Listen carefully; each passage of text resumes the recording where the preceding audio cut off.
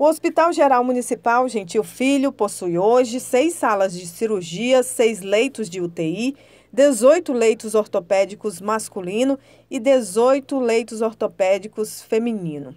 O Hospital Geral atende a internações de clínica médica de pacientes vindos da UPA, de Caxias e de outros municípios.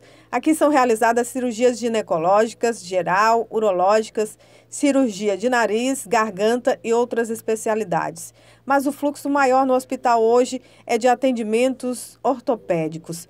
Este médico ortopedista passa 12 horas dentro do hospital. Então, aqui no Hospital Geral, a gente tem recebido bastante pacientes que são vítimas de trauma automobilístico, entendeu? Em sua grande maioria são pacientes que sofrem acidentes motociclísticos, são vítimas do trânsito.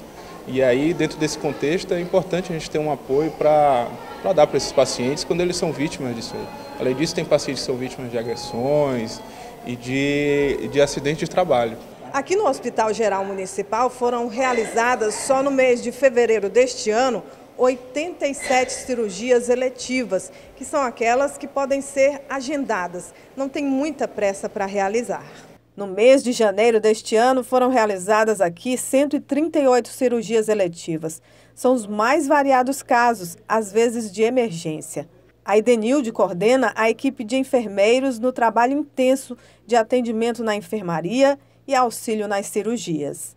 Nós somos compostos de 89 técnicos de enfermagem e 24 enfermeiros.